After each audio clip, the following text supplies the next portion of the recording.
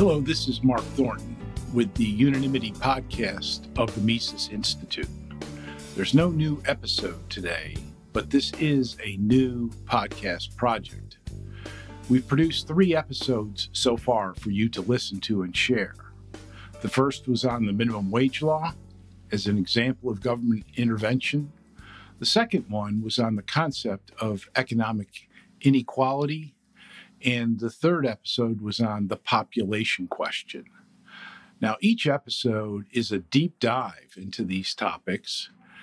Even though they're only 25 minutes long, they contain all of the necessary basic history related to the topic. They include the important theories, both the good ones and the bad ones, ethical issues, and political reality. Frankly, we try to rip off the propaganda band aids of the bad guys and their political and economic agendas. Whatever it takes to undivide us, we must find out what we can and must agree on if human society is to survive and flourish.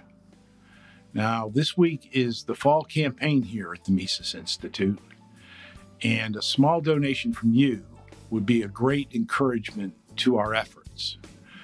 There's a link in the description of this episode for you to donate in the name of the Unanimity Podcast. Is this podcast worth pursuing and continuing? Your support, especially using the link, will help make that happen. Thank you. I'm Mark Thornton at the Mises Institute.